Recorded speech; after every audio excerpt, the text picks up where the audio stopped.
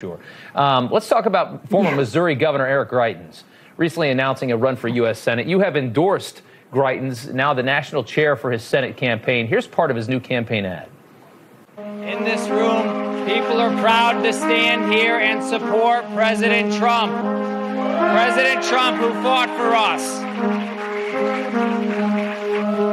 What we know is that right now this country needs fighters and I'm here to fight for you. All right, so he's obviously taken the Trump route. Um, tell us about this seat, why it's important, why he's the man for the job.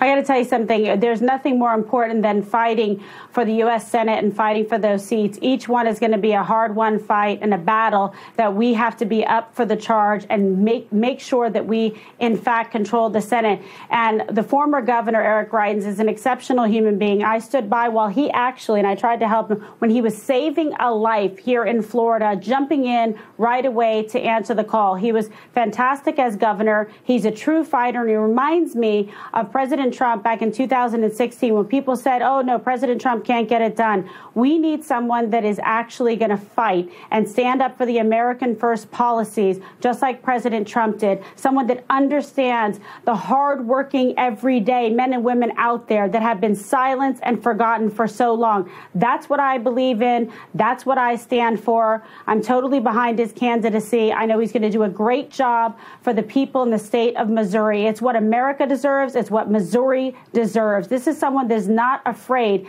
to stand up to the establishment, to like squishy Republicans and RINOs that pretend they have your best interest at heart and they yeah. do not. And that's yeah. why I know we will be successful. And he's 40% up ahead in the polls and enjoys a 60% approval rating with conservatives. Wow. This is what this country deserves. Okay. All right. We'll follow that race, of course. Kimberly Guilfoyle, former senior advisor to President Trump. Good to see you again. Thanks for coming on. Wonderful to see you, Rob. All right.